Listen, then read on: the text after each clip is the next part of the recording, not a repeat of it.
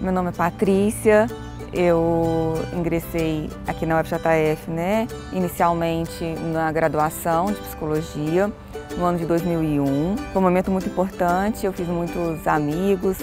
Em 2012, eu ingressei aqui como TAI, no cargo de psicóloga. Inicialmente fui lotada no HU, no Hospital Universitário, e em 2016 teve a oportunidade de eu, de eu, ingressar na diretoria de ações afirmativas. E mais especificamente agora eu estou trabalhando no núcleo, de, no núcleo de apoio à inclusão, no NAI. O trabalho no, o trabalho no NAI é fazer acompanhamento é, dos estudantes, né, de, de, de tais também, ou de terceirizados, ou dos docentes, que têm alguma necessidade específica, que têm alguma necessidade especial.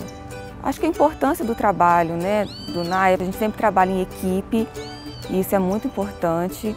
Né? É um trabalho que sozinho, o trabalho da inclusão de forma geral, é um trabalho que sozinho não se consegue fazer. A UFJF proporcionou várias possibilidades de amizade que eu levo para a minha vida até hoje, né, de amizade agora também como TAI, como de trabalho, né, que vai para além do trabalho, né? Amizades que vão para a vida.